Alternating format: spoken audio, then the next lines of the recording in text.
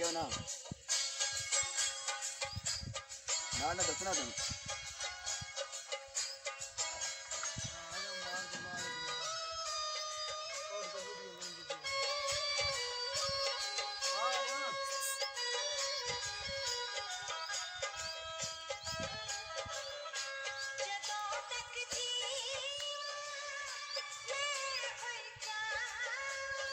दसरा बने